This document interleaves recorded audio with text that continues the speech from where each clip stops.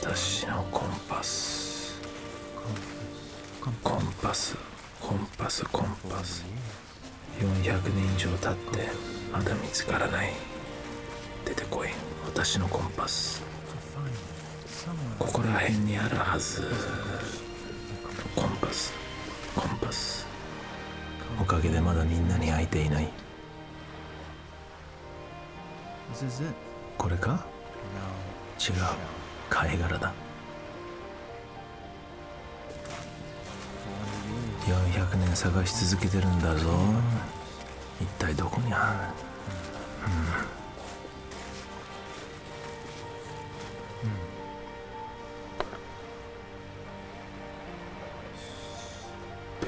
しかしここは本当にあの黒島か私がかつて上陸した臼杵の黒島なのか何かが違う。決定的に違う。このよどみ切った空気まるで長い間時間に取り残されてしまったみたいだ。そうだ。それよりもコンパスだ。もう一回思い出してもう一回私はコンパスを持って出発した。ちゃんと持っていた間違いない。でもない。ない。もう一回思い出して。もう一回もう一回いつどこで。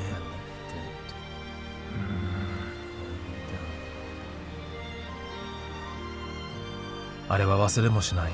1598年夏だった。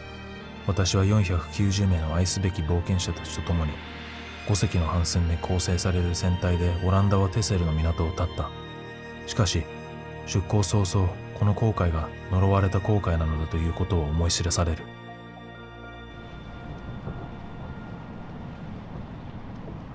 風が全く吹かないのだ。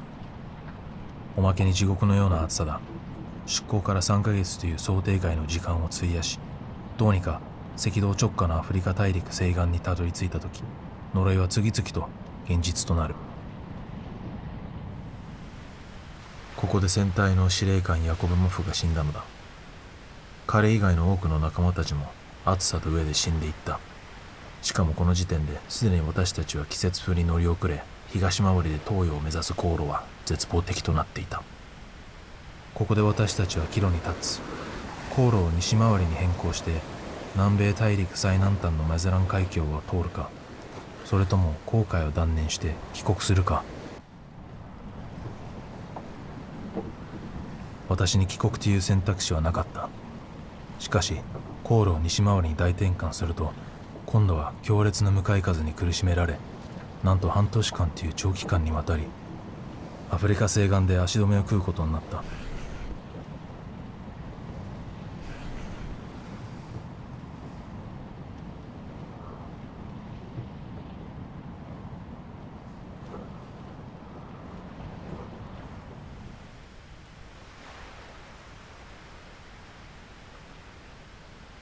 そしてマゼラン海峡にようやくたどり着いた頃にはすでに出港から9ヶ月以上経過。しかも船員は上と寒さで日に日に減っていく。私たちはまたしても大きな岐路に立った。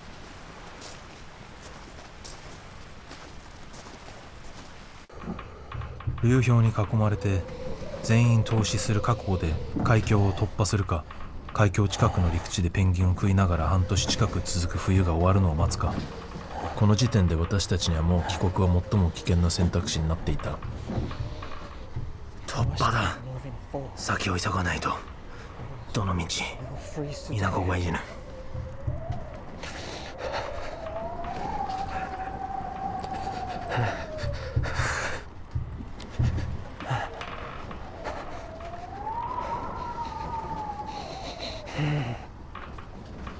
しかし船団が下した決断はこのまま冬を越すというものだった。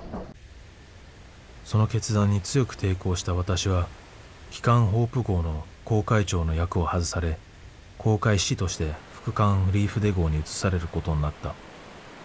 文字通りの左遷だったが不安が限界に近づいていた弟トーマスと一緒に移ることができたのが救いだった。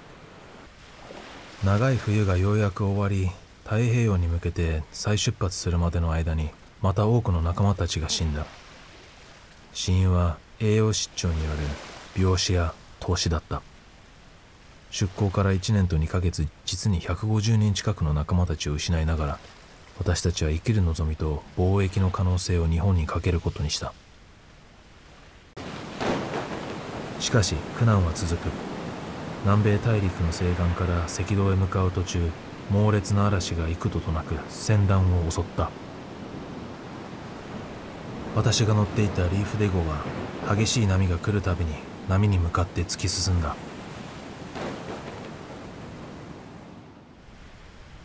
ようやく嵐が去ると他の4隻の船は消えていた。希望も信仰も忠実も福音も海の底に沈んでしまったのだ。あの当時は誰もがそう思ったはずだ。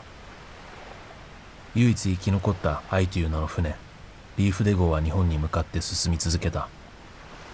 しかし行く先々で私たちを待っていたのは命をつなぐ食料ではなく命を狙う先住民たちだった。チリの西岸モカ島で私はこの航海で最大の苦しみを経験することになる。浅瀬まで乗り入れられるボートに乗って食料の物々交換に向かった23人の仲間たちが1000人以上の住民の奇襲に遭い撲殺されたのだ。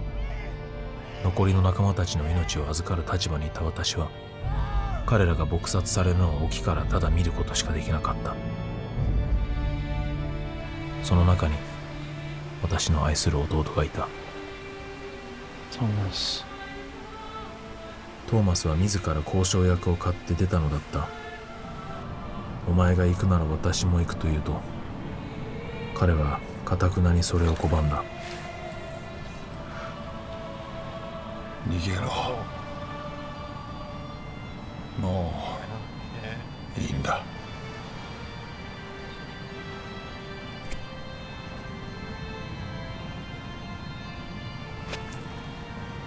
トーマスこの航海で人儲けして故郷で家庭を持ちたいと言っていたトーマス。お前はあの時自らの後悔を終わらせようと思ったのか。それともこの後悔を終わらせないために自らの命を差し出したのか。今でもそれが聞きたい。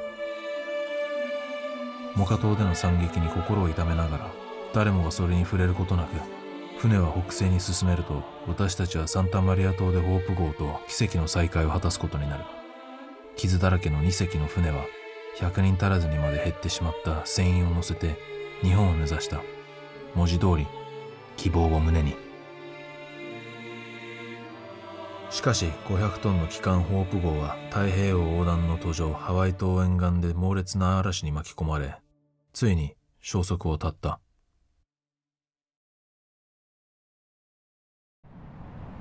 そして私を含む24名の生存者を乗せたリーフデ号だけがおよそ22ヶ月に及ぶ過酷な航海を経て1600年4月19日ついに臼杵の黒島に到着。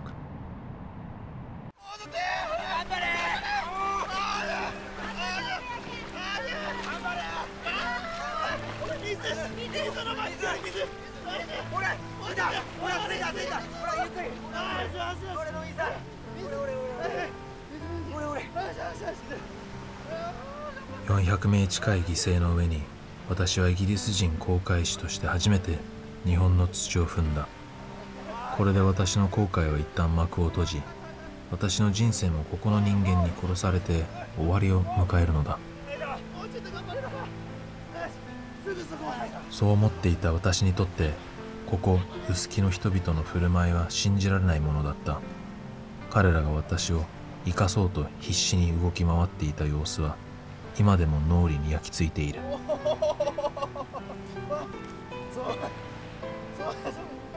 言葉も通じない異国の人間と彼らは理解し合いつながろうと努力してくれたのだ。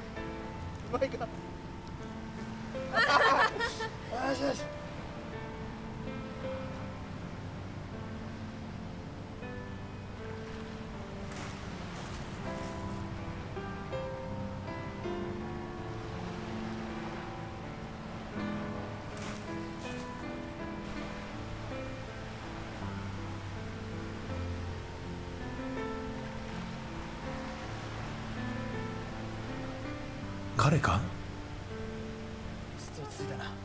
大丈夫そうか大丈夫そうか。兄ちゃん兄ちゃん。ほらこれ。ほら落としたやつこれ。持っちゃおうか。これ。なあ。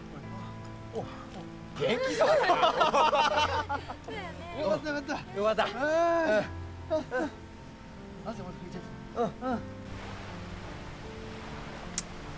違う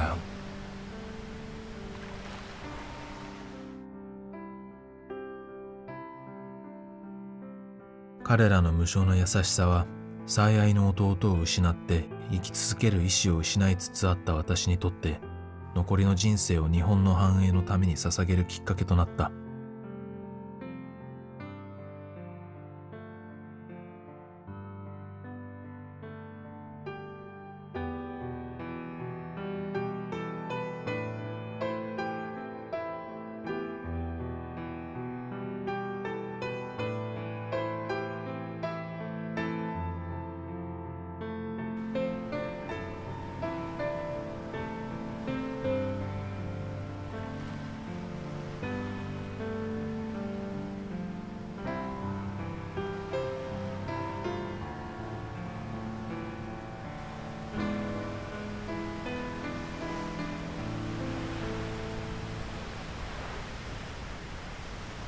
しかしここはあの私が愛した薄木だろうか。当時とはまるで変わってしまった。繁栄しているようには見える。たくさんの色とりどりの建物。だが人影がない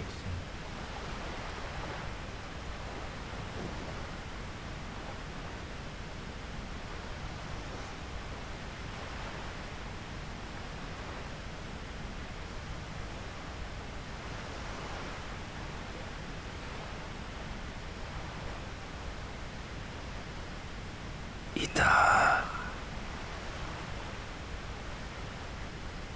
薄木の住人だ忘れられないあの優しさ。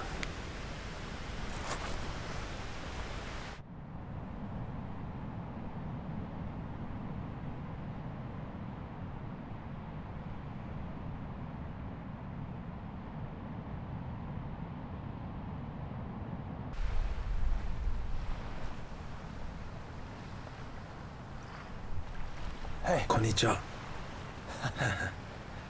薄木のんあえあ私のコンパス。コンパス見つけた。自分のコンパス見つけた。400年半見つけた。コンパス。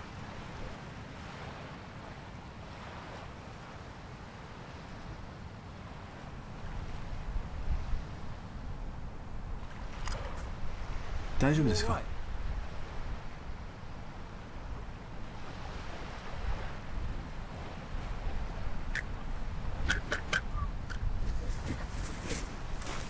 うん日本語で That's right. 日本語で日本語で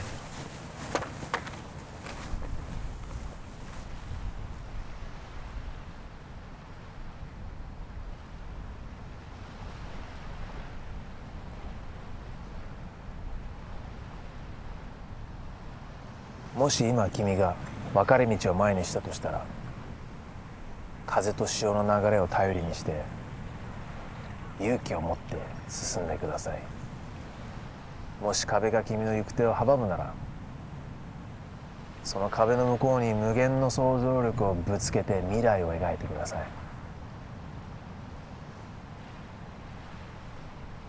思い通りにいかないことだってあるよ。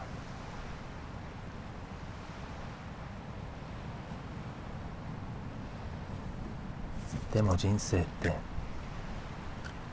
先の見えない後悔みたいなもの。失敗して失敗して失敗してたくさん失敗してやっと未知の世界にたどり着く。私だって22ヶ月間後悔で数えきれないくらいの失敗を繰り返してきた。でも心配しないで大丈夫。たとえ力尽きて倒れてしまっても土の匂いが君に元気をくれる。風は君の行く先を時々厳しく時々優しく教えてくれる。だから勇気を出して前を向いて。だってほら愛という名前の船はずっと君の旅立ちを待ってるから。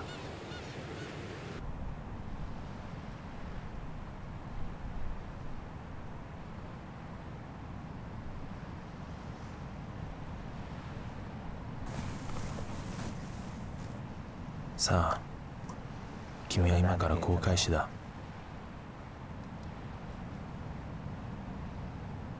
人生という航海で行き先を見失ってもまた必ず自分で見つけ出せる。トーマスも分かってくれる。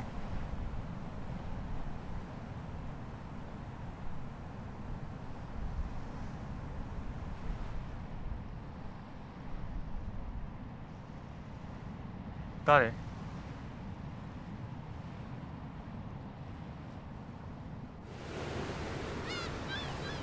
君の友達三浦安心